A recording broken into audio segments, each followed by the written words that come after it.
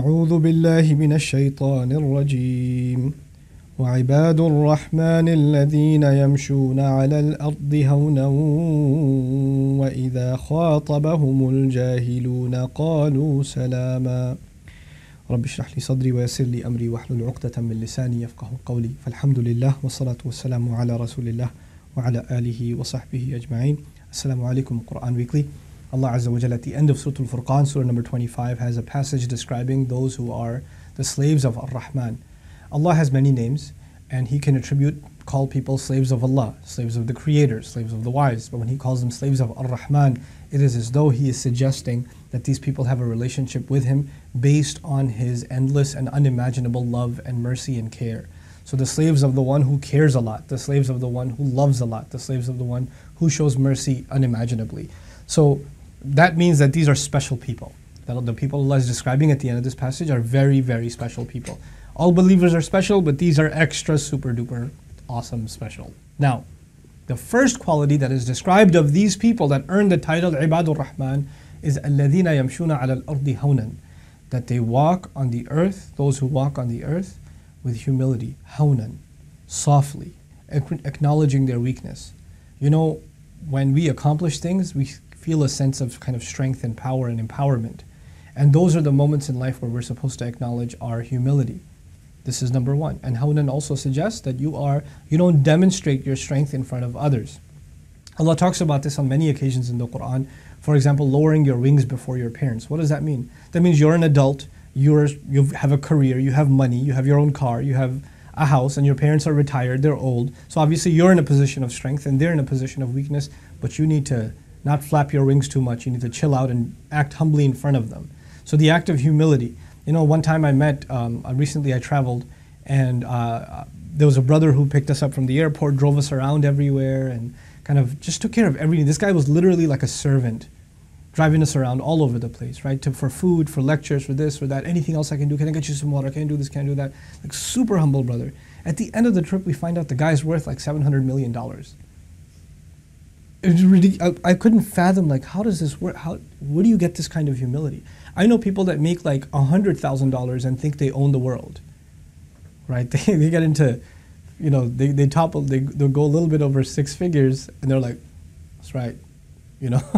and this guy, you know, so the, just the humility sh- just shattered me. Like, how in the world can this be? And I was reminded, وَعِبَادُ الرَّحْمَنِ الَّذِينَ يَمْشُونَ عَلَى الْأَرْضِ هَوْنًا. It's number one. They learn to walk on the earth with humility. Humility is also not just a demonstration of financial strength, it's also a demonstration, an undue demonstration of physical strength and intimidation. It can also be a demonstration of your ability to out-talk someone. Maybe you're a very aggressive, outgoing person. You like to make a lot of jokes. You can really just put somebody in their place, especially in a public setting. You need to chill out and kind of hold back from that. Don't do that because that's an expression of arrogance then because you, you are overpowering someone with your tongue you can overpower someone and put someone in their place with your with your mouth. You can you know you know something about a, a, field, an area, and you just want to stump somebody with your knowledge. Don't do that. Every, you know, it's good for you that you know, but you don't have to like prove yourself at every juncture. You know, you know. For example, a teacher. A teacher's job is not to prove to his students that he knows. A teacher's job is to try to teach. You know, and you don't have to go and tell everybody your credentials all the time. You don't have to do that. You just be yourself. Just be yourself and be, be humble before people. As a matter of fact, try to hide your capability in some cases if it, if it means it'll just be a source of intimidation for others, you know? So now this is hawnan, but then there's the other part of it, which is I love this part. وَإِذَا خَاطَبَهُمُ الْجَاهِلُونَ قَالُوا سَلَامًا Every word deserves a little bit of attention here, at least in this short clip. So I'll give each word its due. إِذَا inshallah. إِذَا is when, not if which means the situation that's about to be described is inevitable. It will happen, you will run into the situation. So what is that situation? خَاطَبَهُمُ الْجَاهِلُونَ People that don't control their emotions, people that are, you know, obnoxious, people that are outrageous in the things they say or in the way they act, when those kinds of people address you, and it will happen. You will have to deal with difficult people in life. It will be a fact of life. There's no way around it. إِذَا خَاطَبَهُمُ الْجَاهِلُونَ now, the other thing is, you didn't go seeking their connection or talking to them, they came and addressed you. So they're the subject of the verb, suggesting that you're not even looking for trouble, trouble came to you, and it will. So just because you're not looking for it doesn't mean it won't come. إِذَا خَاطَبَهُمُ الْجَاهِلُونَ قَالُوا سَلَامًا when the when the arrogant or not the arrogant, the ignorant, the the uncontrolled uh, address them, the uncivilized even address them, they say now two, there are two translations possible here. Qalu salaman means they say peace. In other words, you, it could be understood as they say peace out. Look, you know, maybe this is not a good time. We should talk another time, or whatever. They get, they walk themselves out of the conversation. They don't hear something stupid and say, you know how stupid you are. Let me put you in your place. No, no, no. Peace. They don't they don't engage. When they hear something ridiculous, they don't engage. They just say peace. Qalu salaman. Nowadays, it's not just about you talking to somebody in a conversation, but this could even be a WhatsApp group, man. This could be like a Facebook post. This could be a YouTube video made about you or something, or some trolling comments underneath. You don't have to address any of it. Just leave it alone. Leave it alone. Salaman.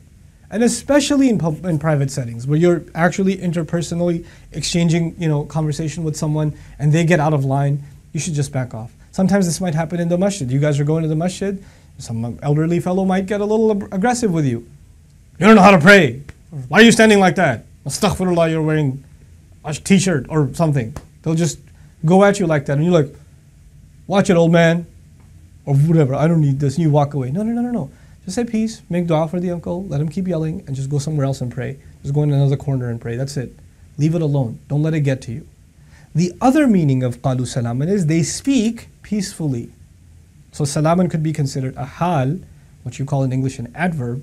And the way you would think of that is, so they're, they're talking to you aggressively, angrily, in a very arrogant tone, in a very offensive tone, almost in a way that they're trying to probe and get a reaction out of you. But you are speaking peacefully. You don't let them get under your skin. You learn how to control your emotions in this conversation, and it's not even a, you know, sort of you have to go out of your way to kind of mm, holding back. It's so hard to hold back. No, no, no. You can you develop a kind of tolerance where you can just let this stuff roll off the top of your skin. You don't let it get underneath. You don't let it get to you, and you just deal with it in a very reasonable, rational way. This is actually da'wah in and of itself. And Allah says Allah loves these people. Allah will describe later on these are the, the, you know other qualities of believers like they pray all night, qiyamul layl, tahajjud prayer. He'll give other descriptions of them, but the first description he gave of them is they are they are you know number one, uh, humble. They don't put others down, and when others are putting them down, they deal with it in a peaceful fashion. Or if they don't know how to deal with it, they just say peace and they walk away. وَإِذَا خَاطَبَهُمُ الْجَاهِلُونَ قالوا سلاما. May Allah give us the strength of character and really the common sense and the wisdom to act on this ayah when the situation arises. These ayat, the recitation of them is easy, talking about them in a video is easy, listening to it is easy. But when the situation happens in your family, when the situation happens among your friends, when the situation happens at the masjid or in the college, then living on this ayah, that's a diff- different story altogether. May Allah give us the wisdom and the sense, uh, you know, to be able to act on this ayah when the situation arises. Barakallahu li wa lakum, wassalamu alaikum wa rahmatullahi wa barakatuh.